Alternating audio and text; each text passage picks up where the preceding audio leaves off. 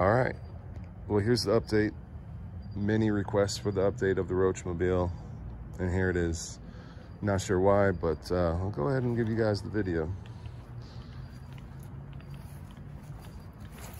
Now, I don't think it's gotten any better, but let's just go ahead and take a look. It hold, oh my goodness. Oh, please. Bro. I think it's gotten a little worse. Oh my goodness. Like I said, man, I gave this guy a ticket on his car telling he needs to clean this shit out. And he's uh, basically, oh, shoot, Jesus. Basically refusing. Oh, damn, look at him go. They don't like the light.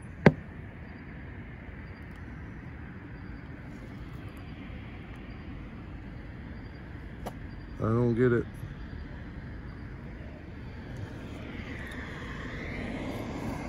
Oh, that's just bad.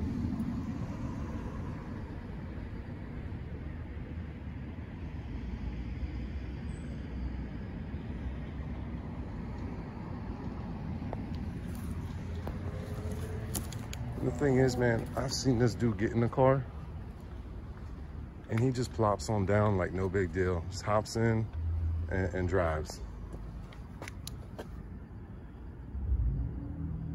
It's probably part of the problem, man. See, this dude just doesn't want to clean out his, uh, just want to clean out his shit.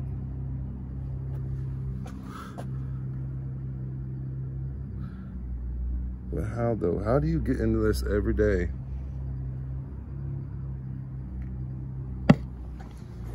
Well,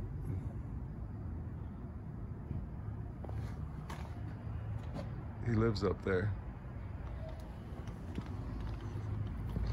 We'll take one more look in the driver's seat. That's the worst. Like I'm saying, man, when this dude gets in, he's sitting on like 30 of them.